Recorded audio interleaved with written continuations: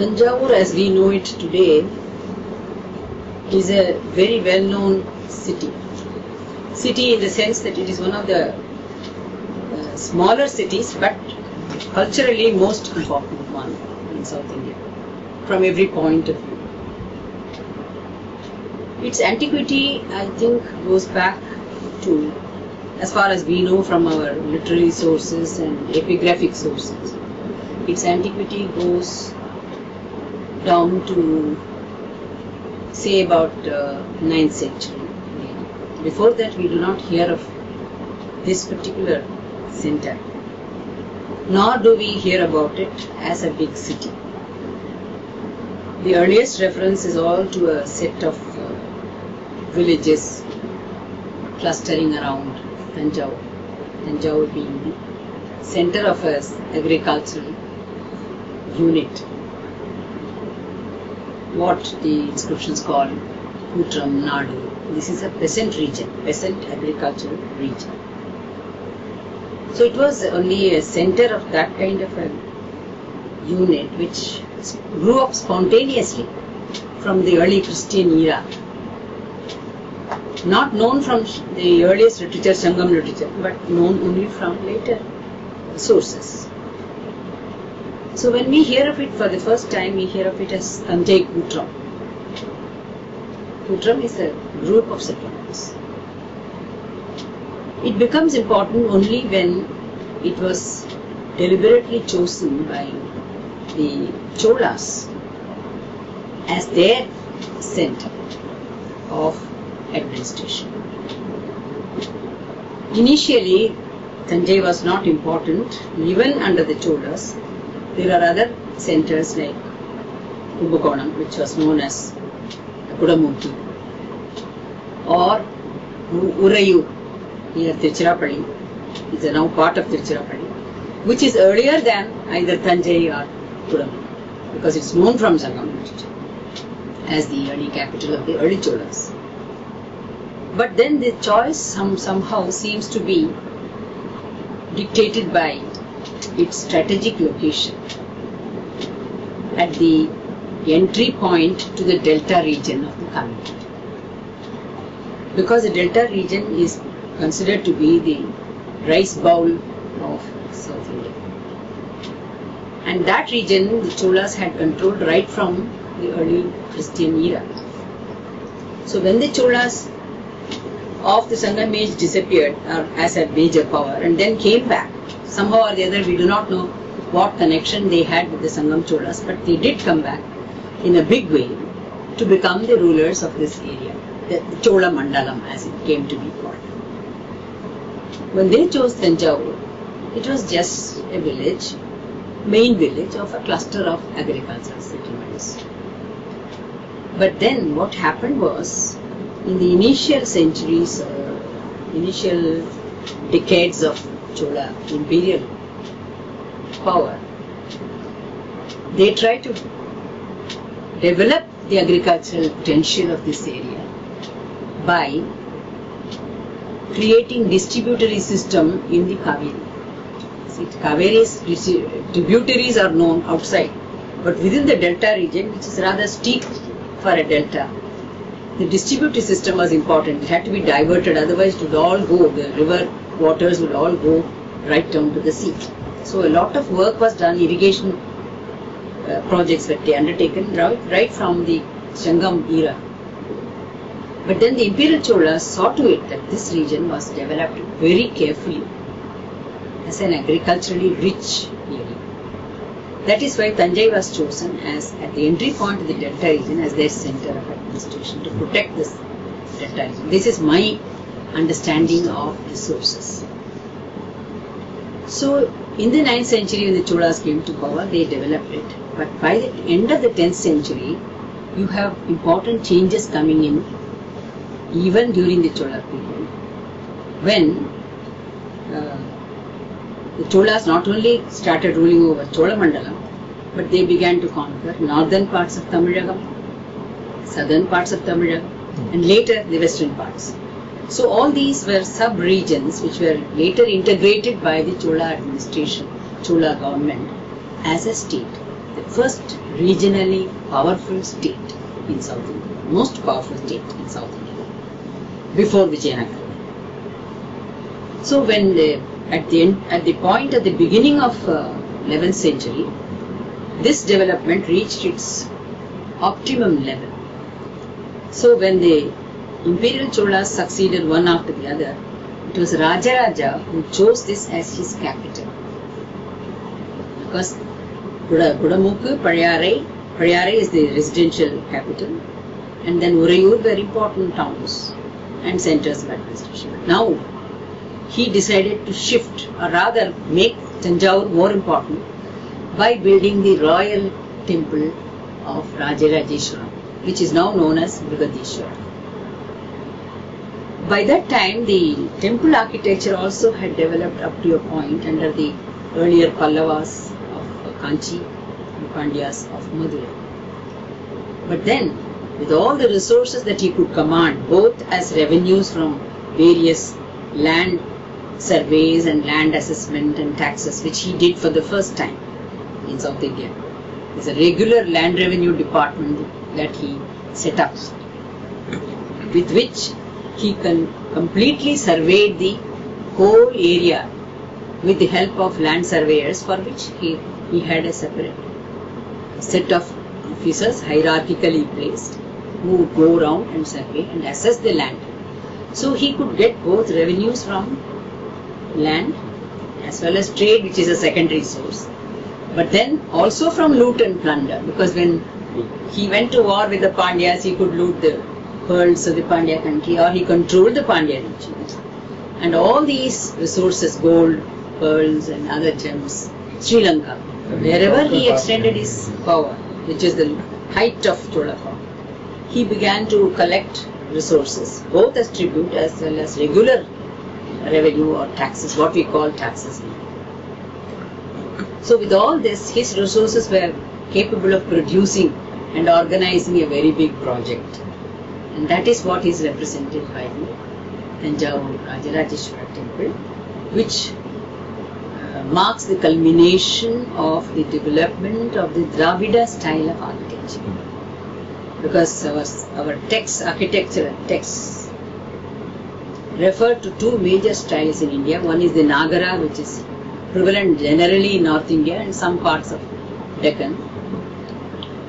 The other is Dravida style, which was consciously and clearly developed systematically by the southern rulers. And Cholas were the ones who really made it the most impressive, architecturally pleasing and aesthetically impressive monument, the temple.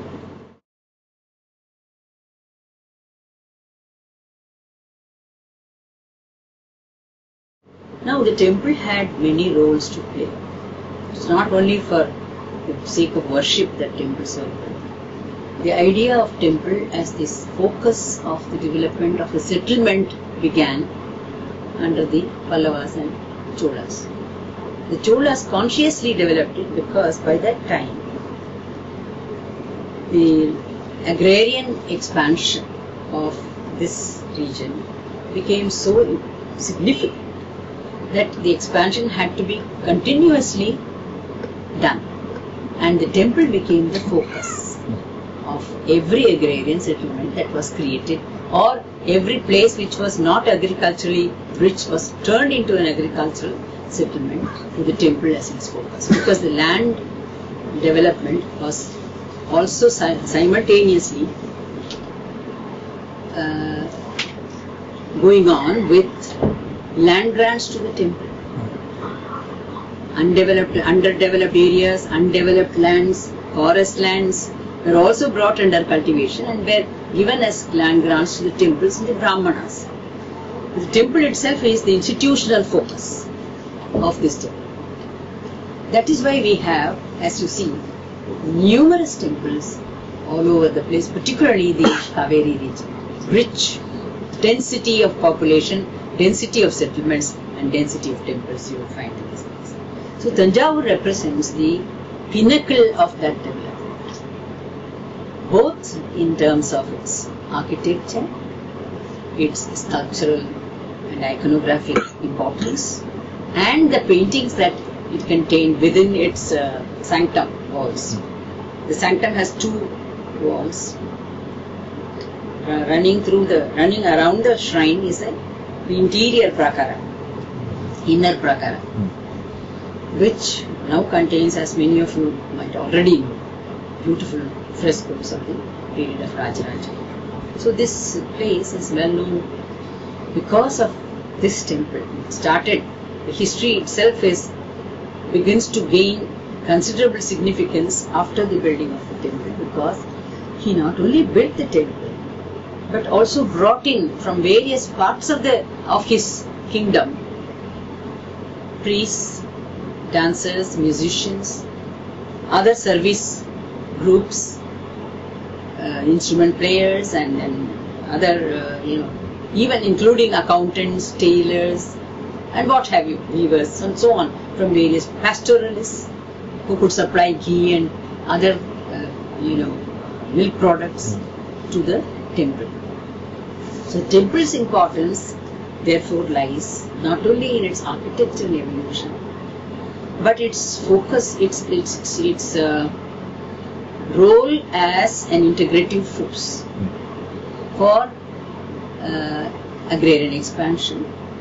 Gradually, it becomes the focus for urban development because traders come in, craftsmen come in, and make use of the temple services and the people of the locality to trade in this area. Therefore, you have a it creates an urban space also, not only an agricultural space but urban space. In this case, it is this single temple which does it all the time. Whereas in Kanchipuram and other places, you have multi-temple centers within the city, where again it's very significant that every temple has its own, what they call in Thiru, in the inscriptions, Thirumadai Vilaham. So all these taken together suggests that Tanjavur temple represents in every meaning of the term the pinnacle of Chola power, but also the importance of the cultural development that took place along with the economic and social integration that was also being done with the help of the temple as an institution. So it's a very major institution. That is why it has an enduring importance in Indian history Yes. and culture.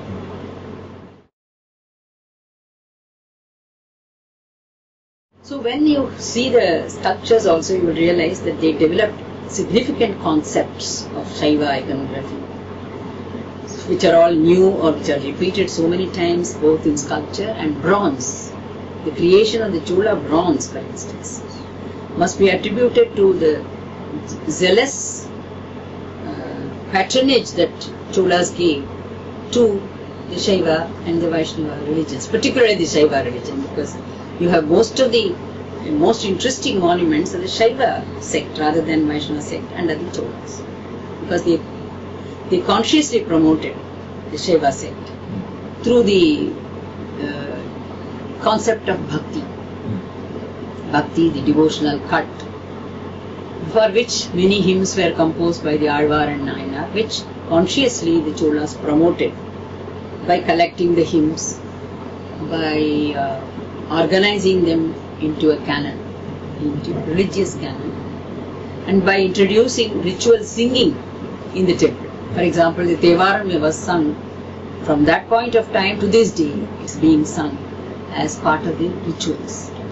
of the temple. So, ritual development, ritual growth, the increasing number of festivals, everything combined makes the temple the center of uh, large number of activities, not only economic, social, religious, and cultural.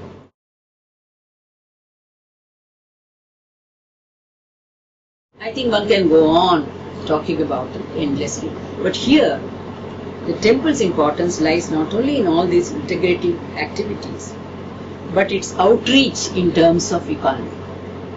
Because when Rajaraja built the temple, he also organized the flow of inflow of resources from Sri Lanka, from southern Pandya region, from western Kongu region, and from northern Pallava region, which is all now combined into one single state. So culturally and politically, Tamil Nadu must have evolved as it is today only under the Cholas. So it also, therefore, the, the Tanjavur temple also represents the major focus of the cultural development of the Tamil region and also reflects the ideologically important devotional cult of the period. So that is the general importance. Politically, it's very significant that the temple stands as a metaphor or symbol for royal power. When you look at the icons also, you will see that it reflects the idea of a great warrior. All these uh, Shaiva icons that are that decorate the walls would show that all these concepts are related to either power, subordination of enemies, or warrior concept, or highly uh, devotional importance of the Shaiva sect. Everything is reflected in the iconography the other important point is why should we then say it stands as a symbol for royal power? Because they visualized it as a cosmos in miniature. Temple is planned and designed in such a way that is that it reflects cosmic structures. For example, if you have the linga in the shrine, which symbolizes Shiva, you have the Ashtadikpala shrines in the peripheral corridor that runs entirely around the, the rectangular corridor with shrines separately having their own pinnacles. So all of these were simultaneously consecrated in the 29th year of Rajaraja's reign. So the it reflects cosmic structures. Cosmos is equated with territory. King is almost equated with God, and God's territory represents King's kingdom. So Tanjavur becomes then the center of the kingdom in every sense of the term. So that is the importance of Tanjavur, uh, which developed into an urban center, a city under the Cholas.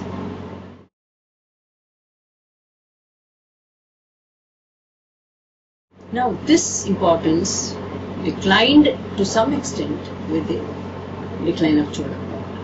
But it did not decline completely because Tanjavur's cultural importance continued to be the same.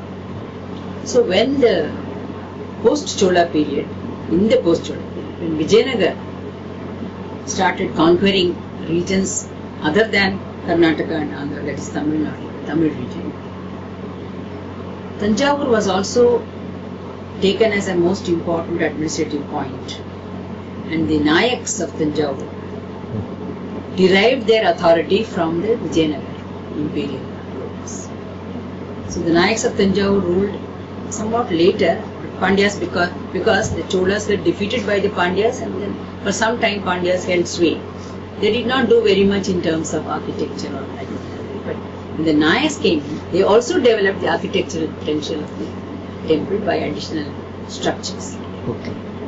Till then the main shrine of Shiva was important but they added Subramanya shrine, they added the Amman shrine, they added other single shrines around it, which is a very important development in temple architecture because horizontally the temple began to grow after the Chola period. There, that is why you have today in this, uh, South India, particularly Tamil region, temples with uh, three prakaras, five prakaras. Prakara is a circumambulatory courtyard. Uh, three prakaras, five prakaras, or seven prakaras. As you go into the Nayak period, you will find Srirangam seven prakaras, Tiruvannamalai five, and you can mention endless number of uh, such temples which show the architectural expansion not only vertically but horizontally. What do you mean by vertically de- the architecture develops? The Vimana. Vimana means the shrine plus its superstructure. In Dravida style, it is a tiered superstructure, one story after another, one tier of T-I-E-R after another, which is the tallest in Tanjore. 13 tiers over 200 feet high. And all the technologically important uh, developments took place by this time. Therefore, you find the temple itself as a well designed, well planned monument standing to this day without much of a damage in spite of climatic difficulties faced through rain or whatever. The masonry is not uh, bonded, you see, what they call dry masonry. The calculation of the stones that are used to construct this superstructure and the other structures is entirely based on the size and the weight of the stone. So it was so well calculated, well planned, otherwise it wouldn't have been possible for Cholas, particularly Rajarajas.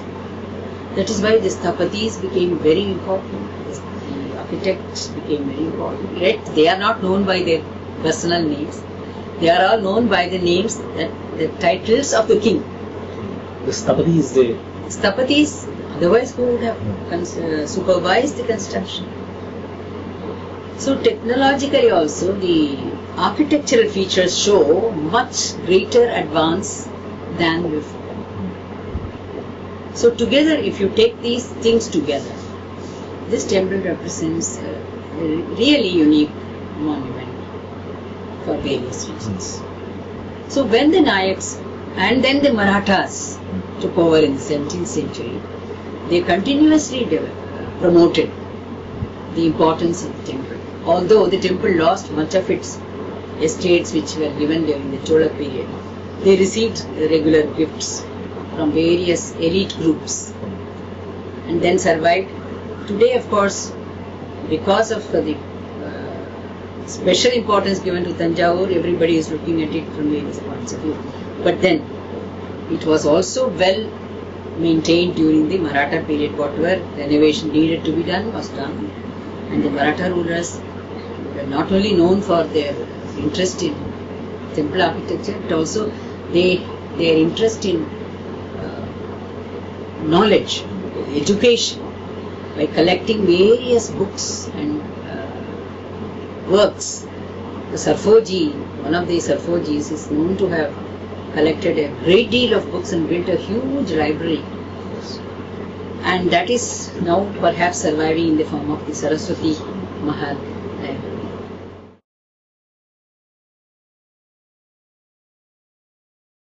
Well, it is there is nothing uh, particularly, you know, we cannot uh, understand why they did it. But then once they conquered Tanjavur, because Tanjavur must have been still important under the Nayaks. When they conquered Tanjavur, they took over Tanjavur as it was and did not uh, hesitate to develop it as it did, as it needed to be. But it, they were also great promoters of music and dance. And it is under them that the, for the Tanjavur quartet lived and uh, they composed and they sang and they were so well known that today if anybody knows Carnatic music at all, they should know something about the Tanjavur quartet. It's because of Marathas that uh, the music of Carnatic music has uh, become so very well developed as well as Marathas- survived. Yes, yes, yes. Nayaks, of course, we do not know what actually Nayaks did, but for the Marathas, we do have clear indication of their of their interest in music, literature, course, that is education. That is why all these abhangs are Abang's, Abang's collection, I think, should be because of that. Because Yes, no, they brought with them their own Yeah. interests uh, in music. It could, it, when they looked at the develop, already well developed music in the south, they uh, fostered it to such an extent, but that is also due to the fact the Vijayanagar period, the main uh, structure of Carnatic music itself was established. The, the 72 Mela Kartas and Janya Ragas, etc. So they they continued. Vijayanagar did not fall uh, ba- back or behind other rulers in, in this kind of thing. Their patronage was also extended through the Nayaks.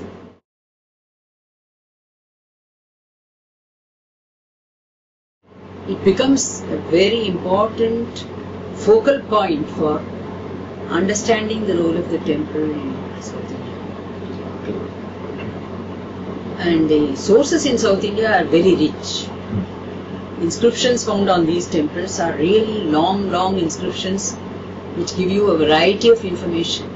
Political conquests or military achievements at the same time, the land grants made or the trading articles traded in, Okay. the, the people who came and traded in articles, the, the trade names of trading groups, they give you a, an interesting uh, peep into the uh, occupational groups Okay. that were brought into the service of the temple. Through that, we can uh, do some more work on sociological aspects and then get to know what kind of uh, hierarchical structure evolved in society, which group was really very considered to be elite, which group was considered to be middle or lower. in fact, uh, interesting things happen in the changes that came over after the Vijayanagar period when the low, what we consider to be the lower mass caste in uh, caste system. They were uh, afforded a very important role in some of the rituals in uh, temples. When the Ramanuja's time, he is uh, said to have introduced uh, in Srirangam a lot of reforms in which he brought in, through which he brought in the inclusion of what people, uh, those groups which are considered to be low caste, into temple. And the number of interesting stories about the Nayanars and Alvars which tell you how the low caste people were uh, given some kind of a recognition. Nandana's story is very important. I don't know. Yeah, Nandana. Yes, yes, yes. So he was refused to Shaiva, his Shiva. uh, landlord refused permission for him to go to Chidambaram and worship because Chidambaram is considered to be the religious most religiously important center for Shaivites. Chinese. So when he went there uh, the, they did he was not allowed to go into the temple. The Nandi moved and he had a darshan. This is the story. There's another part of the story which says that he was allowed into the temple after purification. Because the, this purification part remains all the same, all the same. Whether you give uh, you know uh, importance to the lower castes in the ritual performance in the temples or not, the purification ceremony goes on all the time. The brahmanas do not necessarily forget that they are the ones who allow Mm. sorry, this kind of a thing. You know, you, can go on working on this Mm. theme interestingly and the temple's role in society, polity and economy. I think Tanjavur is the best example. lot of inscriptions talk about how uh, trading groups were organized into within certain names, Manigrama. Manigrama, Vaniga Grama becomes Manigrama. Hmm. The Tisai Ayiruthu Ainyutruvar. Hmm. Those five, 500 people go all over the place, the, thousand directions. Hmm. They are not only trade in India, they go to Sri Lanka, they go to uh, China, Indonesia, other places. There also we have information about how they brought in various uh, luxury items, uh, exotic items, yes, yes, and took important textiles and other important items from here, traded with the other countries. In China, there is an inscription in Canton Mm. which talks about these traders being given certain concessions and permission to trade by the Chinese emperor. Uh, and in Kulotunga, one of the Chola rulers, Kulotunga first, end of 11th century, beginning of 12th century, he uh, abolished chungam, tolls, Mm. so that trade could prosper. Because this urban process goes on simultaneously once the optimum level of agricultural expansion is reached Mm. these people who have uh, surplus to invest. Mm. Surplus becomes our wealth and capital, you see later. Yes. Surplus investment, surplus uh, resources if they have, they invest in trade. So the traders are those who evolved out of the same agrarian society. They are not some, somebody who come, came in from elsewhere quite suddenly. So this process of development continuously goes on and we all of us have forgotten that history is not about these kings alone. Or their monuments alone or their defeats or successes in war, but also about how they promoted these things, these trade and crafts, etc., and how it led to urbanization.